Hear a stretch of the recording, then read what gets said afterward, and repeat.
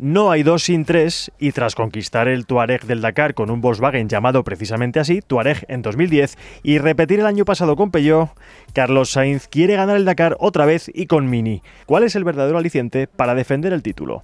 Bueno, la carrera en sí, el verdadero aliciente para mí en este caso es volver a una carrera que me gusta, que es un reto por sí misma Además con un coche, con el reto de evolucionar un coche nuevo, de intentar ganar con un coche nuevo, un coche que, bueno, que es muy muy joven y, al final todas esas cosas, todos esos ingredientes los mezclas así en una coctelera y lo pones en una balanza y dices, ¿me apetece? Pues digo, sí, me apetece y por eso estoy aquí.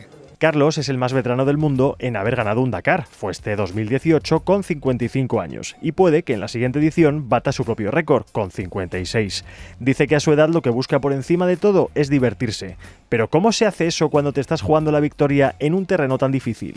Bueno, la diversión es competir, la pasión por competir, pero es cierto que luego cuando llevas dos horas y media metido en un tramo y ves que te quedan otras dos horas, eh, a veces se hace un poco, un poco pesado, sobre todo si es duna, duna, duna, porque la duna estresa, pero bueno, es parte de...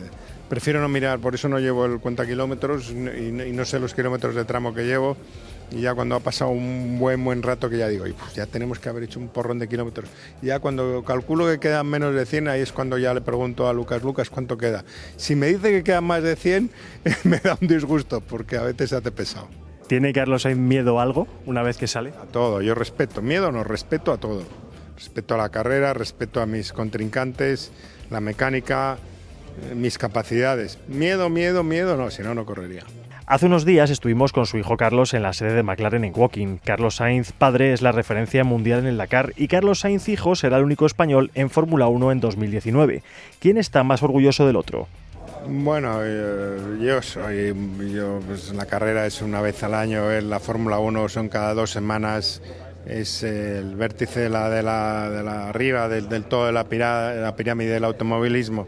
Yo estoy muy orgulloso y yo espero que él esté orgulloso de, pero no del Dakar, de lo que ha sido su padre, la carrera que ha hecho y sobre todo que esté orgulloso también como padre.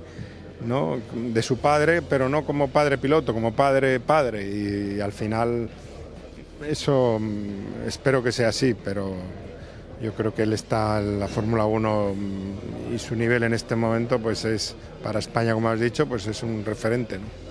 El flamante piloto de Fórmula 1 nos ha chivado que su padre ya no se atreve a darle consejos de pilotaje. ¿Cuáles le da entonces? Ah, de pilotaje también le doy alguno, ¿eh? Pocos. Es que poco. Yo creo que en cosas puntuales, de vez en cuando sale una, una situación en la que yo puedo opinar y le digo, mira, me parece esto, pero los consejos realmente importantes ya se los he dado. Si los ha querido coger, pues bien, y si no, pues como todo en la vida. Yo tampoco, yo, al final tú escuchas, escuchas a la gente que te rodea y decides tus propias decisiones y tu manera de ser y de actuar.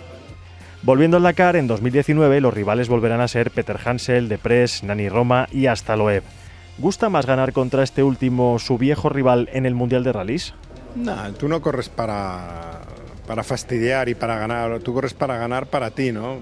El hecho, como he dicho en alguna ocasión, que haya pilotos buenos, importantes, cuanto más y mejores pilotos haya en la salida del Dakar, más valor va a tener la victoria. Por lo tanto, bienvenidos todos los pilotos del mundo los buenos pilotos porque más valor va a tener. Eh. Carlos Sainz tiene mucha cuerda aún y aunque de momento solo tiene un año de contrato con Mini, se dice que le encantaría seguir en el Dakar en el caso de que la carrera volviera a África. ¿Es así?